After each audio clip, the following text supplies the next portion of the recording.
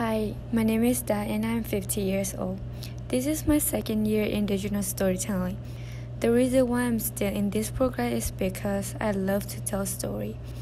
I want people to know about my cultures and most importantly I love having fun with all my friends and teacher in this program. I interview one student and one teacher in the program to hear why digital storytelling is important. I like about digital storytelling is that I get to create an edit video and know how to take like photograph and stuff like that. Other people should join this program because it would be beneficial for them like to learn other culture and then learn how to edit or take video.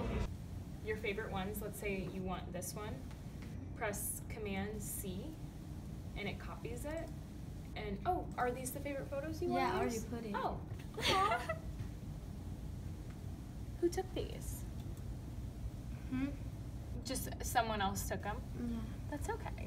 These are all your friends. Mhm. Aww. Yeah, That's awesome. I made this video to inspire other students to join Digital Storyteller Club.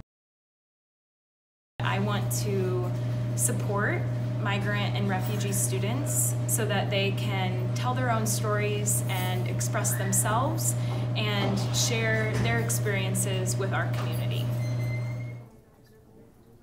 You should join Digital storytelling if you like learning about other cultures or proud of your own cultures because we are here to tell a story and share with our communities.